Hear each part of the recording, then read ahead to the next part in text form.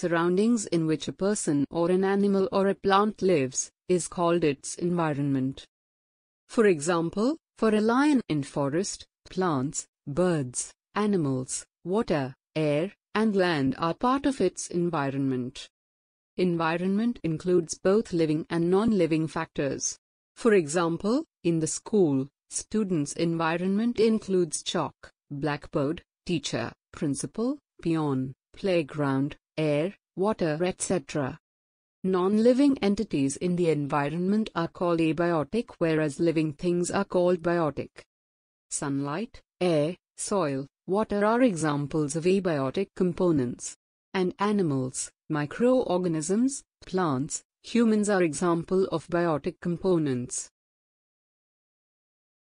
Ecosystem In the environment, when different components are interdependent and work together to fulfill each other's needs, they form an ecosystem.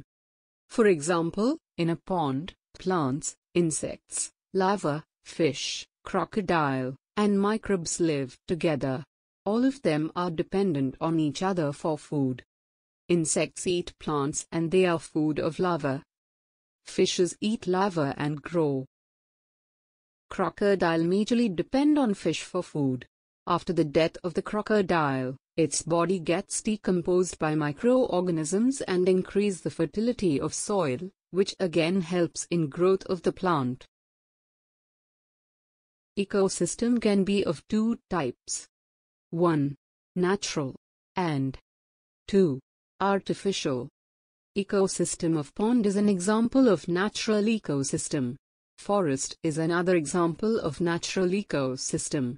Natural ecosystem are created by nature and are very complex. But there are man-made ecosystems as well. We call them artificial ecosystem. Few examples are aquarium, terrarium. These ecosystem are not as complex as natural ones.